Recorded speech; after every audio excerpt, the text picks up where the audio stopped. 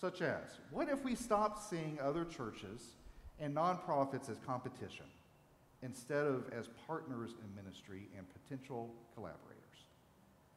What if we made our missional partnerships, like with Greensboro Urban Ministry, A Simple Gesture, Guilford Guys, just to name a few, even more central to the life of this congregation?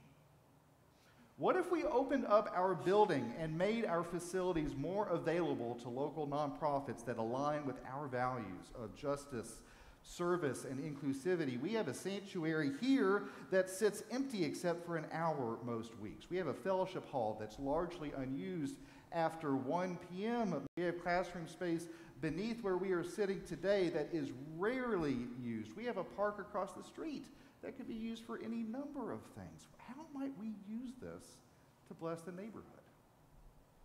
What if instead of clinging to an outdated model of church where we rely almost solely on our staff to organize and implement our programming, we pivot to a place where the church is about forming disciples to go out into the neighborhood, to listen to the needs of our neighbors, and to serve